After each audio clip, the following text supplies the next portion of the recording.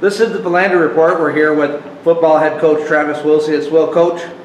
We had numerous additions to the school record book this year, as well as breaking a bunch of records. I think it was 41 additions and 24 records, three all-conference selections. The best games that we played this season were against Trine and Eureka, who have both qualified for the national tournament the last two years. Looking beyond the record, are you encouraged by what you saw on the field this season? Yeah, you know, we really grew as a team. You know, this is uh, this is really building the foundation of a program, and you know, nobody ever wants to say it's not about the wins, but it's about how you do it and how you prepare yourself to win. Um, and I felt we did a lot of great things this year. Uh, really, just putting that foundation and building it in our future. Well, let's talk about our three all-conference selections. Uh, in fact, at first, it's got to be pretty impressive to say a lot about your program that you go 0 and 10 and you have three kids, and it's not honorable mention. It's three kids making second team, so that's got to be encouraging for the future. But Wilson Spryer was the anchor of our offensive line. I thought he did a great job. You allowed him to make some calls, you know, and he's a, a long-time veteran.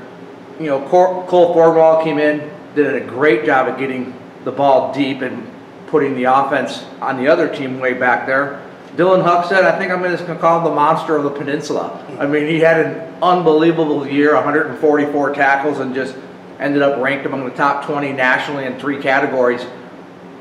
What is it about those three players that made them a little bit special? You know, those are guys, who, you know, we like to call them, the, you know, our program, the grinders, right?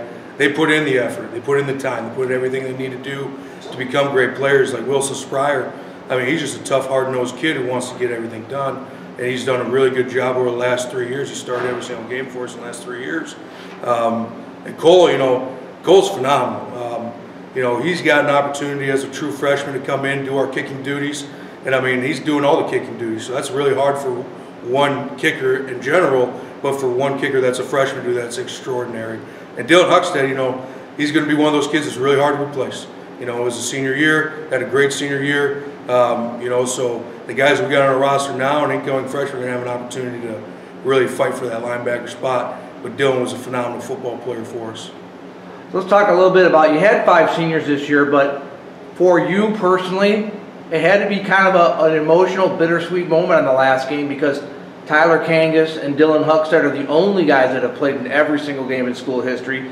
Adrian Satterstadt was in that first group of kids that came in in the fall of 14, so that, that had to be a little bit emotional for you on that last day. Yeah, those guys, you know, all the credit to them. They stuck out and believed in the program and fought all the way through. And, you know, Dylan, Tyler, and uh, Adrian, phenomenal kids. And they wanted to be a part of something special. They helped us put, you know, those first couple years in that real, that base layer, that foundation.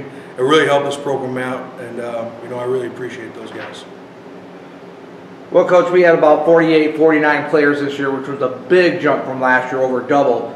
We had a good number of impact players from the new group. What are your overall thoughts, and where do we go from here? And being in this conference, now that we've actually finished the year, does that help the recruiting down the road? You know, it's, it's always keep building. You know, I'm building this thing into two phases right now, all right? Phase one is taking care of the guys on campus, and that's getting into that weight room, uh, working with advantage, getting as big and fast and strong as we humanly possibly can. All right. Uh, phase two is putting the greatest 2019 football class together that we've ever had here. Okay. So uh, with those two phases, that's how we get better, um, and just keeping that grind going. You know, a lot of these guys, you know, as I talk to them every day, it's about swinging the hammer, swinging the hammer, right?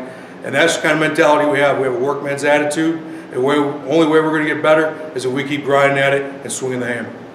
Well, Coach, it's been a fun season watching you guys play this year because honestly, you've got a great group of kids, and my dealings with them were just phenomenal. They're, you know, great athletes, good kids in the classroom, and, and they have a great personality as well. So you're doing something right. We want to thank you for your time today and wish you the best of luck next season. Thank you. This has been the Finlandia Report brought to you by the Sports Information Office.